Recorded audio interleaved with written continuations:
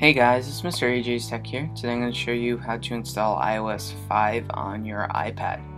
So uh, this will work for iPod, iPhone, and uh, any iOS device that's really available for 5.0, which is 3GS for iPad 1, 2, and iPod Touch 3G and 4G. So right here you can see on screen, you have to Alt Option, click, and uh, hit Restore. So that's the Alt Option key on your keyboard and hit Restore. And then you browse for your firmware, which can be downloaded in the links below. Now you do need to have your um, UDID registered, otherwise I'm not going to support a tutorial for that. So you need your UDID registered, and if you're not a registered developer, you have your UDID with someone else, download links in the description. So this is showing you how to install it. Now this is not for people who don't have UDID. So that's uh, make that clear.